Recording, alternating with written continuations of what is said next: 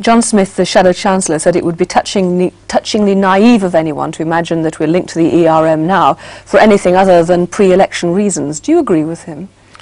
Timing is everything for the politician, and it's hard to complain of politicians who attend to timing. And to time such a thing if it was going to be done, and one half of it was going to be done anyhow, and I'd like to come to that point, to time it just at this point was so obvious that almost too obvious.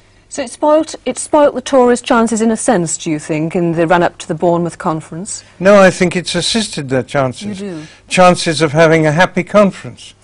Now you mentioned, I'll come back to that as well, Yes. you mentioned that you wanted to talk about it it had already been decided. Well- this half of it had been decided. Well, there are two halves to the decision which was announced last week. One is to reduce the interest rate, and the other is entering the European exchange rate mechanism. Mm. Now, these are completely separate because the interest rate could be reduced by itself. That's a separate decision, and that's a decision which the Chancellor was able to take at any time. but has don't, to... don't let them tell you that it's necessary to keep interest rates high in order to combat inflation. Inflation, it's true, was caused by taking interest rates down so low in 1987 that there was a flood of new money.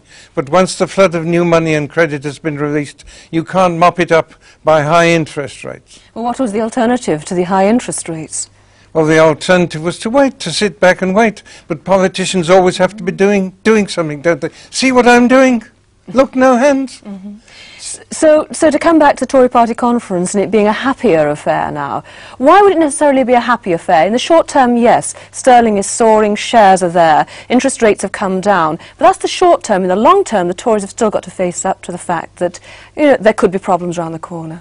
Maybe they have, but a conference lasts a week, and people come to a conference wanting a good week, and this has helped them with the kick-off. Do you think it'll get them to the end result? That is, that they will win the election because this has set the tone almost for the, for the, for the run-up to the election campaign? Well, I don't think that's a decision which would have been taken as yet. I think at this stage in a parliament, a prime minister is still watching and thinking and has not yet decided. It would Be very injudicious to have taken a decision on that sufficiently firm to fix other decisions to attach to it. You in the past have been an implacable opponent, or you've pointed out the real concern behind getting involved in the European Monetary Fund. Do you regret this decision? Do you regret us going into the ERM today? I think we shall regret it.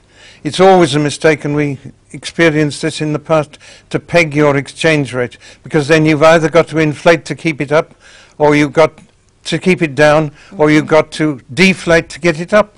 You're at the mercy of other forces, more at the mercy of other forces than you need it to be.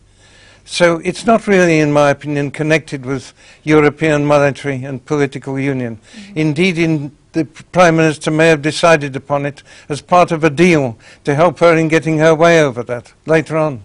That's very mm-hmm. possible that she's got this old commitment from around her neck and feels freer. Enoch Powell, thank you very much indeed.